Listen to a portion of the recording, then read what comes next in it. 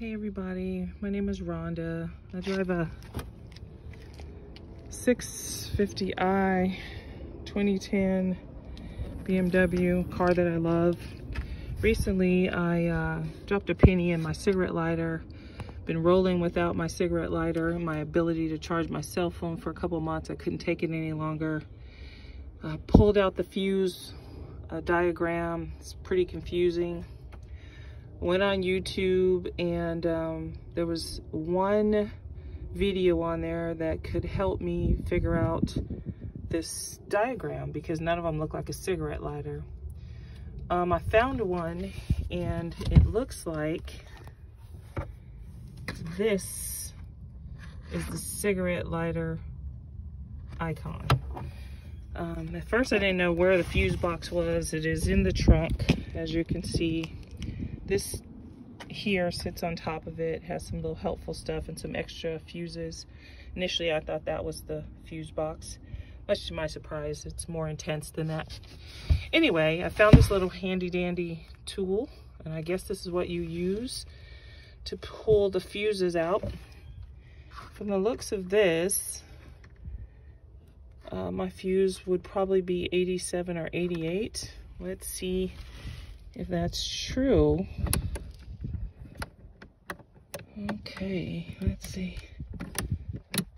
Ah, let's see if that's it. Ah, there it is. It's it's uh definitely the one. Awesome. This is hella progress as far as, as, far as I'm concerned.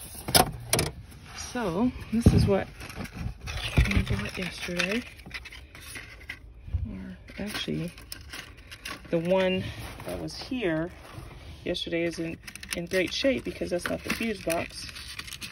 And I'm gonna go ahead and insert this in there. Oh, that's probably not the right way. Goes this way, I guess.